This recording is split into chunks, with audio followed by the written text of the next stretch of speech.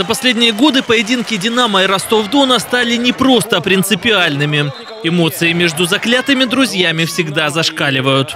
Но в первом круге на берегах Волги донские спортсменки камень на камень не оставили от чемпиона России последних шести лет. Казалось, в Ростове подопечным Виктора Рябых ничего не светит. Но уже на старте гости врываются вперед, дорожат мячом, допускают гораздо меньше ошибок в завершении атак. А хозяева вдобавок ко всему теряют лидера.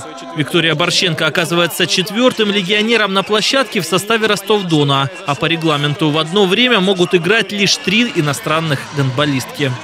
В чемпионате России разрешено, чтобы на площадке было три легионера. Э, Не знаю, почему в этот раз мы не проконтролировали ситуацию. Все разы как бы мы про это помнили.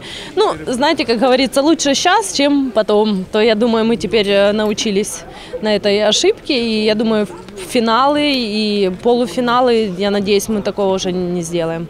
Итог первого тайма плачевный – 7-13. Видимо, ростовчанки приходят в себя в перерыве. И вторую половину начинают значительно лучше. Реализуют свои шансы. Капитан Регина Шимкуте шесть раз поражает ворота «Динамо». А Екатерина Ильина становится лучшей по итогам матча на ее счету 7 мячей.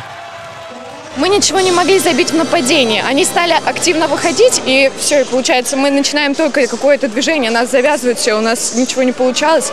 Вот, в принципе, отстоять мы отстояли, а забить ничего не могли. Поэтому, наверное, так получилось. Ну, сейчас тяжело говорить, будем смотреть, разбирать. Ничья 23-23. Ростов-Дон продолжает лидировать в чемпионате России и продлевает свою серию без поражений до 13 матчей. А следующая игра уже 25 января. Во Дворце спорта донские красавицы принимают московский луч.